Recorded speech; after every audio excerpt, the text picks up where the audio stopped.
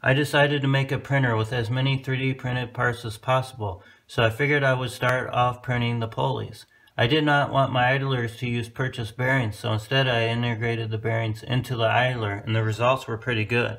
Instead of a deep groove bearing, these idlers use angular contact style bearings, so it can be easily assembled. I'll show you how to assemble it. The required 3D printed parts for this are two roller cages, two shaft halves. One has a hole for a hex screw and one has a hole for a socket head cap screw and one pulley. The pulley is designed for a GT2 belt, 6 millimeters wide and has 20 teeth.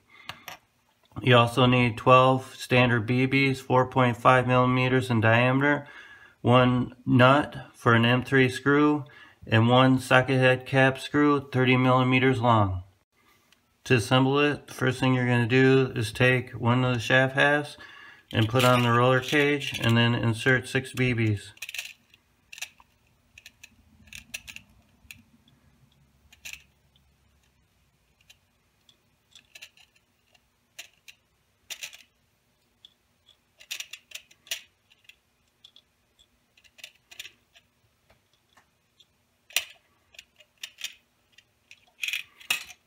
Then once you got that done, just stick the pulley on top.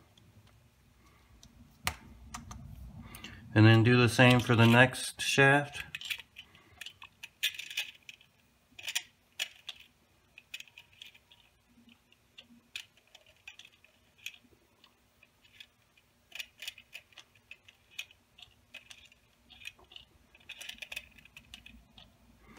And stick the pulley on top of that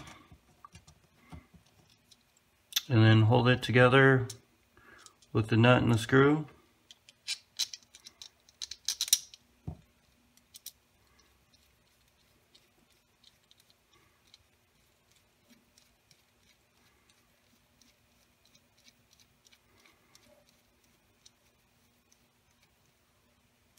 So you got that tight, should spin freely.